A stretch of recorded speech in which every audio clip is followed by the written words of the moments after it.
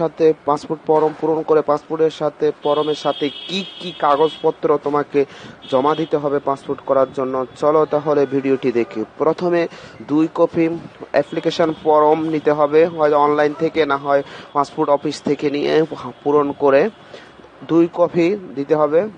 তারপর passport size এক copy ছবি, আবেদনকারী পাসপোর্ট সাইজ এক কপি সত্যায়িত ছবি। তার নির্দিষ্ট স্থানে ফরমের নির্দিষ্ট স্থানে আমি যেভাবে লাগাইছি, এভাবে লাগাই দিতে হবে। তারপরে যদি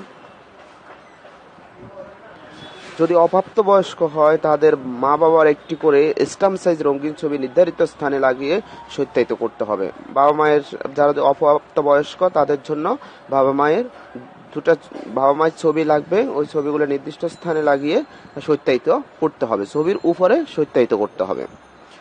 তারপরে পূরণ হয়ে যাওয়ার পরে তারপর আপনাকে ন্যাশনাল আইডি কার্ডের মেইন কপিটা যেটা আছে ফটোকপিও নিতে হবে এবং মেইন কপিও নিতে হবে।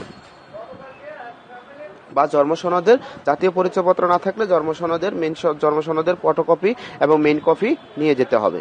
তারপরে আপনাকে নাগরিকত্ব সনদ, যে সরকার চেয়ারম্যান সার্টিফিকেট বা ওয়ার্ড কাউন্সিলর কমিশনারের প্রদত্ত নাগরিক সনদপত্র আপনাকে নিতে হবে।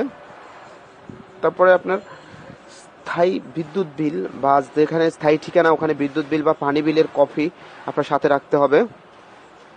তারপরে আপনার ব্যাংকে যে টাকা জমা দিয়েছে, সে টাকার রসিদ নিয়ে যেতে হবে।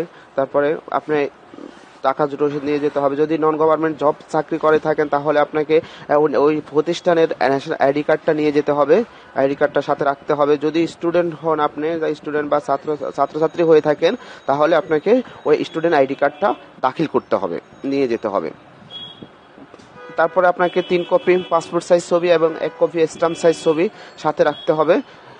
সব কিছু ঠিক করে, কাগজপত্র ঠিক করে, তারপরে আপনাকে দায়িত্বরত কর্ম, কর্মকর্তার সিল সহ স্বাক্ষর করবেন এবং নির্দিষ্ট স্থানে ফর্মটি জমা দিয়ে চলে আসবেন। আশা করি ভিডিওটি ভালো লেগেছে। যদি প্লিজ ভালো লেগে থাকে আমার চ্যানেল সাবস্ক্রাইব করে সাথে থাকবেন। পরবর্তী আপডেট ভিডিও পাওয়ার জন্য।